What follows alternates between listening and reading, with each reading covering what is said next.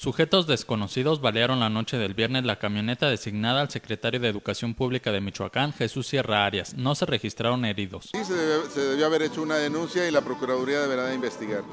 Mediante un comunicado, la Procuraduría de Justicia de Michoacán informó que el atentado se registró a las 22 horas cuando la unidad oficial tipo suburban color gris se encontraba estacionada sobre la avenida Camelinas a la altura del número 797 y de pronto se escucharon detonaciones producidas por proyectil de arma de fuego. El secretario de Educación había bajado minutos antes de la unidad por lo que solo se encontraba a bordo el chofer quien al escuchar los balazos se recostó sobre el asiento del copiloto para ponerse a salvo, mientras que los agresores se dieron a la fuga en el vehículo de donde presuntamente se realizaron las detonaciones. En el lugar de los hechos, peritos criminalistas de la PGJE localizaron 10 casquillos percutidos de proyectil de arma de fuego calibre 40, por lo que se dio inicio a las investigaciones pertinentes para dar con la identidad y paradero de los responsables.